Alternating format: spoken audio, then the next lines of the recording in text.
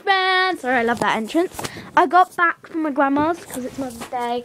Oh, I want to go over there. We had loads of food, so now I'm really full. I Don't say Don't want to eat anything. Um, Oh, my friend came round. We were mucking about in the rain. So yeah, I I'm really back. I'm in my mum's room. But I'm gonna Oh, do I a forwards roll on the bed while ah. holding the butt. camera. Okay, I'm on the bed. I'm on the bed. I hurt my Move out the way. Move out the way. You hurt your butt. I don't care.